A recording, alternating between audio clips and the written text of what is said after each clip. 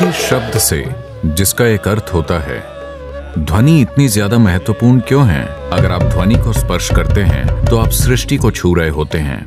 अगर आप किसी शब्द को स्पर्श करते हैं तो आप बस इंसान की मनोवैज्ञानिक संरचना में प्रवेश करते हैं। ध्वनि की शक्ति को कम न समझें। इसका हर चीज़ पर असर होता है। मंत्र ध्वनियों का एक संयोजन या मेल है। अगर आप संयोजन का ठीक से उच्चारण करते हैं तो यह आपके लिए सृष्टि के अंदर एक द्वार खोल देगा।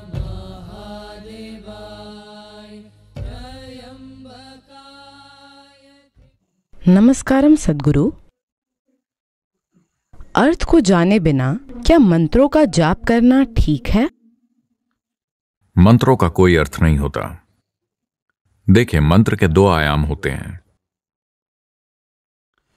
Mantras are not supposed to have any meanings. In the tradition. मंत्रों से कोई अर्थ रखने की उम्मीद नहीं की जाती। इस परंपरा में विभिन्न प्रकार के मंत्र हैं। दुर्भाग्य से जो मंत्र सामान्य रूप से जाने जाते हैं, उनके अर्थ दिए गए हैं, ताकि लोग इनसे जुड़ सकें। क्योंकि बहुत से ऐसे मूर्ख लोग हैं, जो ऐसी किसी भी चीज़ के साथ शामिल नहीं हो सकते जो अर्थहीन हो। इसीलिए वो सूर्योदय, सूर्यास्त, चंद्रमा, पूर्णिमा, हर चीज़ से वो चूक जाते हैं। क्योंकि उनका कोई मतलब नहीं है। पूर्णिमा का क्या मतलब है? कोई मतलब नहीं है। अगर आप प्यार में हैं, सिर्फ़ तभी इसका काफ़ी मतलब होता है। वरना यह है क्या? कुछ नहीं। इसके कोई मायने नहीं है। इसका मतलब है कि ये उपयोगी नहीं है। तो इस धरती पर सारे बेवकूफ़ केवल काम की चीज़ें ही करेंगे। हाँ। क्योंकि उनके पास जीवन को और जीवन के कई पहलुओं को पहचानने की कोई बुद्धिमत्ता नहीं है। ऐसा इसीलिए नहीं है क्योंकि आपने इनके साथ एक बेवकूफ़ी के मायने जोड़ दिए हैं। ये वैसे भी मौजूद हैं। आपसे परे इसका अस्तित्व है। ये आपसे पहले मौजूद था, ये आपके बाद भी मौजूद रहेगा। ऐसा इसीलिए नहीं है क्योंकि आप इसे एक मायने दे देते हैं तो ये उपयोगी हो गया है या उपयोगी नहीं हुआ। तो दुनिया में बेवकूफ़ लोग केवल अर्थपूर्ण चीज़ें करेंगे। वो बुद्धिजीवी हो सकते हैं, लेकिन जीवन के प्रति मूर्ख। उन्हें जीवन की कोई समझ नहीं है। अगर आपके पास जीवन की समझ है तो आप देखेंगे कि वो सबसे अर्थहीन चीज़ें ही हैं जो वाकई आपको जीवंत रखती हैं। क्या ऐसा नहीं है? नहीं? इसीलिए उन्होंने दो तरह के मंत्र बनाए। मंत्रों का एक बड़ा समूह, जिसका कोई अर्थ नहीं है, सिर्फ़ शुद्ध ध्वनि।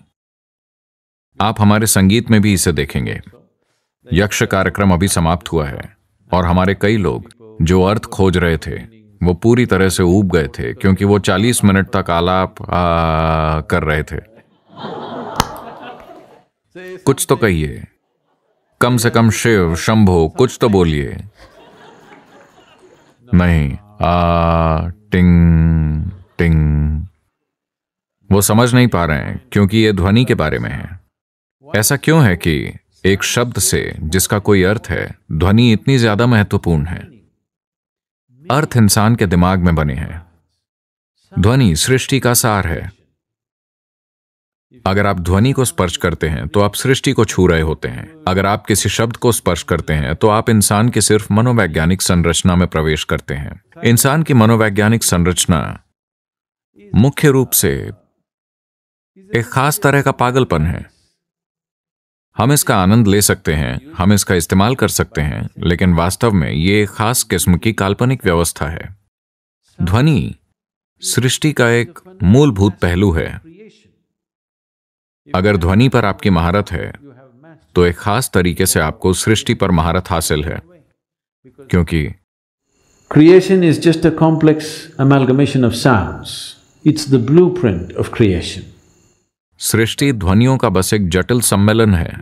ये सृष्टि का खाका है। लेकिन अर्थ इंसानी चीज़ें हैं। आप जानते हैं कि एक ही शब्द के अलग अलग भाषाओं में अलग अलग मायने होते हैं। यहाँ तक कि भारत में भी, आप ये जानते हैं। एक ही शब्द के अलग अलग मायने होना। इसलिए है, क्योंकि ये पूरा इंसान के द्वारा गढ़ा गया है। ध्वनि गढ़ी हुई नहीं है। ध्वनि सृष्टि का हिस्सा है। ध्वनि अस्तित्व का हिस्सा है। ध्वनि सृष्टि के सृजन का हिस्सा है। अभी पूरी सृष्टि एक खास तरीके से स्पंदित हो रही है। आप इसे सुन नहीं सकते इससे कोई फ़र्क नहीं पड़ता। लेकिन but words and meanings are a human making.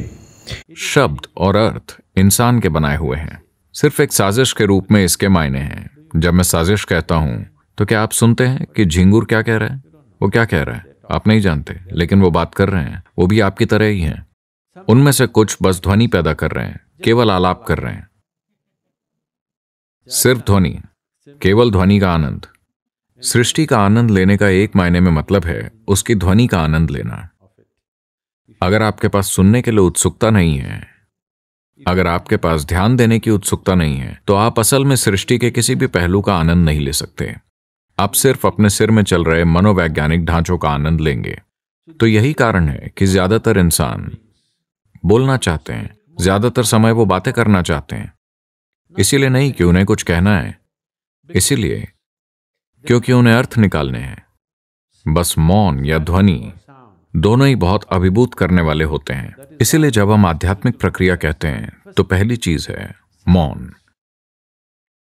अगर आप मनोवैज्ञानिक रूप से बहुत स्थिर हैं तो हम कह सकते हैं, ठीक है, तीस दिन का मौन, साठ दिन का मौन। अगर आप मनोवैज्ञानिक रूप से नाजुक हैं तो हम कहेंगे, ठीक है, तीन दिन। तीन दिन में भी लोग पागल हो जाते हैं। हम कहेंगे, ठीक है, आधा दिन का मौन, दोपहर तक का मौन। उसके बाद आप बकबक करें। आमतौर पर दोपहर के बाद वो इसकी कमी पूरी कर लेते हैं। आप में से जो लोग बहुत बातें करते हैं, आप जानते हैं कि अर्थ निरर्थक है। आप बस बात कर सकते हैं। बहुत सारे लोग इसमें माहिर हैं। वो बिना किसी मतलब के बस यूँ ही बोलते रहते हैं। वो बिना किसी अर्थ के बात करते रह सकते हैं। अब, अगर आप एक चिड़िया हैं तो हम आपको माफ़ कर देंगे। अगर आप ये हैं तो हमारे लिए ठीक होगा। या अगर आप एक संगीतकार हैं तो आपका व्यर्थ ध्वनिया करना ठीक होगा। अगर आप बोल रहे हैं तो आपसे कुछ अर्थपूर्ण कहने की उम्मीद की जाती है। तो मंत्र को कहना नहीं है। बस इसका जाप करना है। जाप के मायने हैं कि ये जाप ध्वनि का होता है, अर्थ का नहीं। भाषण का अर्थ होता है, शब्दों का अर्थ होता है, लिखित शब्द और बोले गए शब्द। जाप से अर्थ का संबंध नहीं है। जाप बस एक ध्वनि है, एक गूंज है।